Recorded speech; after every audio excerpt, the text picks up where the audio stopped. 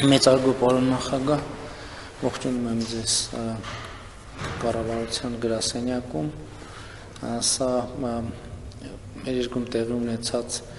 արտահերթ խորհրդանական ընտրություններից հետո մեր առաջին պաշտոնական հանդիպումն է եւ շատ կարեւոր է, որ մենք ձևակերպենք առաջիկա մեր անելիքները, մենք իրար հետ շատ դժվար ճանապարհ ենք անցել նկատի ունեմ Արցախի հանրապետությունը, Հայաստանի հանրապետությունը, մեր ժողովուրդը եւ ծանր փորձության օրերին մեր ժողովրդին առաջնորդնելու բերը եւ պատիվը մեր ուսերին է ընկած եւ մենք պարտավոր ենք մեր առաքելությունը պատվով կատարել։ Իհարկե մենք նաեւ դուք էլ հիմա ավելի մի փոքր ավելի շատ ես էլ նախընտրական շրջանում եւ դրանից առաջ շատ խոսել ենք տեղի ունեցածի հանգամանքների մասին եւ դեռ կան հանգամանքներ, որոնց անդրադառնալու իհարկե առիթ ունենանք։ Ես շատ կարեւոր եմ համարում ընդգծել, որ նաեւ նախընտրական շրջանում ես հստակ ձևակերպել եմ 44 օրյա պատերազմի բոլոր հանգամանքների մանրակրկիտ քննությունը Եվ շատ կարևոր է, որ մենք կարողանանք ձևակերպել այնպիսի ֆորմատ եւ այնպես կազմակերպել աշխատանքը, որ լինի վստահելի այդ աշխատանքը, որովհետեւ շատ կարևոր հարցերի պատասխաններ պետք է ձևակերպվեն բայց նաև կարևոր եմ համարում արձանագրել, որ 44 օրյա պատերազմից հետո մենք միասին բավականին լուրջ ջանքեր ենք գործադրել Արցախում բնականon կյանքը վերականգնելու համար մենք այս ընթացքում եւ տասնյակ աշխատանքային հանդիպումներ ենք ունեցել, մի մասը լուսաբանվել է, մյուս մասը չի լուսաբանվել եւ ես շատ գոհ եմ անկեղծ ասած մեր գործակցության մակարդակից եւ այն որոշումները, որ մինչեւ հիմա իրագործվել են, կարծում եմ դրանք բավականին արդյունավետ են, հույս ունեմ Արցախի մեր հայրենակիցները զգում են այդ որոշումների արդյունավետությունը, բայց իհարկե առաջիկայում ռազմավարական ծրագրեր կան քննարկելու, ես նկատի ունեմ սոցիալ-տնտեսական ոլորտում, բայց իհարկե հարցերի հարցը շարունակում է մնալ մեր օրակարգում Ղարաբաղի կարգավիճակի ճշգրտման հարցը եւ ուրախ եմ արձանագրել, որ նոյեմբերի 9-ից հետո ԵԱԿ Մինսկի խմբի համանախագահները հայտարարությամբ են հանդես եկել ըստ էության արձանագրելով այդ օրակարգը որպես աշխատանքային օրակարգ եւ մենք իհարկե պետք է այստեղ նույնպես մեր անելիքները ճշգրտենք նոր իրադրության մեջ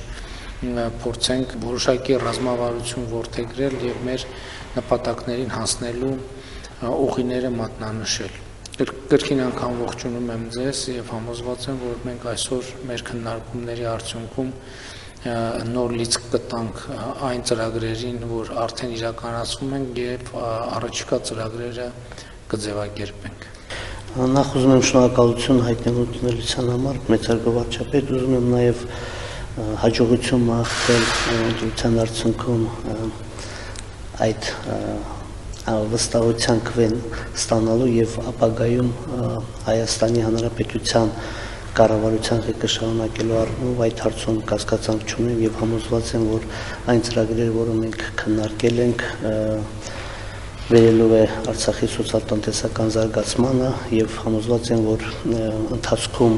այնինչ կատարվել այսօր վստահություն է ներշնչում ոչ միայն Արցախի, այլ նաեւ ողջ հայության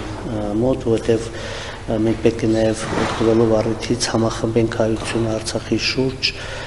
իհարկե տարիների տասնամյակների ընթացքում հայությունը միշտ եղել է Արցախի կողքը միշտ աջակցել է, բայց այսօր քան երբևէ անհրաժեշտ է ավելի մեծ համախմբվածություն եւ այդ համախմբվածությունը իստում է մեզ հաջողվելու է։ Ուզում եմ միանշանակ ֆիքսել այն, որ այո Արցախը այսօր սոցիալ-տնտեսական առումով կարգավորվում է խնդիրները սոցիալական առումով այն ծրագրերը, որ իրականացրել Հայաստանի կառավարությունը, միանշանակ հանել այդ շոկային վիճակից այսօր սոցիալական քաղաքականությունը թույլ է տալիս մեզ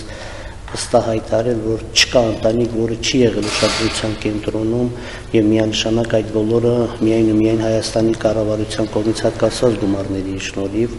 իսկ Հայաստան համայնքական հիմնադրամի հավաքագրած գումարները արդեն սկսվել օգտագործվել ուղղվել բնակարանաշինության եւ ենթակառուցվածքների զարգացման առումով այսօր Արցախը մի մեծ շին հարթակ է, որը պետք է շարունակել եւ առաջին հերթին բնականաշինությունը, որը մեր գլխավոր խնդիրն է այսօր Արցախում բնակարանային խնդիրը այնքան խիստ է, որ օր օրը մի բնակարան կառուցելն էլ քիչ է, օրը առնվազն մենք պետք է հասնենք նրան, որ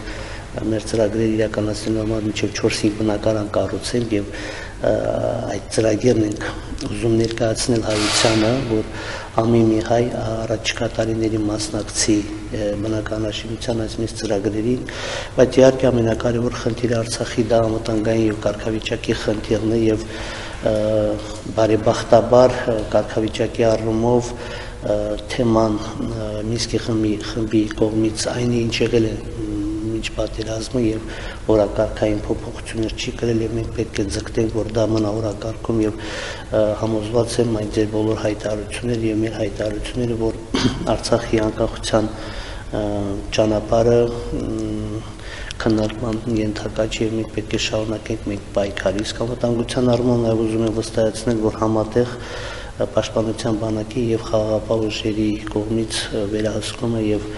իրականում բարդ է աշխարհագրությունը այսօրվա Արցախի ճանապարհները, բայց բարեբախտաբար որևէ լուրջ խնդիր, մտահոգող խնդիր չի եղել եւ այսօր ընթանում է Բերքահավաք, այսօր արդեն այ Բերքահավաքում էլ որևէ խնդիր չկա, խոչընդոտ չկա, ընթանում է նաեւ ենթակառուցվածքների վերականգնման աշխատանքները հենց այսօրվա շփման գծի երկայնքով, որտեվ ամենտեղ ունենք այն խնդիրները, ուրեմն վստահեցին, որ ամեն ինչ ընթանում է, բայց մենք ունենք շատ այո իհարկե ծրագրեր համատեղ քննարկելու վերականգնելու այն ինչ կորցրել են, որը շատ ծանր ու երկար աշխատանք է պահանջում։ Եվ նույնիսկ ուզում հաջողություն մաղթել ունեցած վարչապետ այն պատասխանատվությունը, որը ստացնել ենք առաջիկայում շատ բարձ ժամանակահատվածում պատով կատարելու առումով Հարգելի գործընկերներ, ուրախ եմ ձեզ տեսնելու համար եւ շնորհակալ եմ այսօրվա հանդիպման հրավերն ընդունելու համար։ Ես ուզում եմ զուտ կազմակերպչական առումով տեղեկացնել, որ մեր եւս մի քանի կուսակցություններ, որոնց հետ նախապես կար պայմանավորվածություն, պարզապես եւ պարոն Սարգսյանը, Հանրապետություն կուսակցության եւ Էդմոն Մարուկյանը հանրապետությունում չէին, բայց մենք որոշեցինք, քանի որ պայմանավորվել ենք, որ 15 օրվա ժամկետում անպայման պետք է առաջին հանդիպումը կազմակերպենք, կազմակերպենք հանդիպումը, մանավանդ ես կարծում եմ, որ այսօր մենք պետք է մեր հետագա անելիքների շուրջ պայմանավորվածություն ձեռք բերենք, որովհետև ինչպես եւ պայմանավորվել ենք, առաջին հանդիպումը լինելու է զուտ կազմակերպչական բնույթի, որպեսզի մենք լսենք տեսակետներ թե ինչպես ենք աշխատելու։ Մենք պիտի փորձ անենք մշտական գործող ֆորմատ ձևավորել իմ մասնակցությամբ եւ արտախորհրդանական ուժերի ներկայացվածությամբ մենք սա դիտարկում ենք որպես այսպես ասած մեր հանրային կյանքի քաղաքական կյանքի, տնտեսական կյանքի օրակարգային հարցերի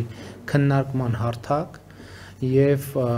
եթե կարելի է այսպես ասել մտագրոհի տեղ, որտեղ մենք կարող ենք բոլոր հնարավոր հարցերը քննարկել։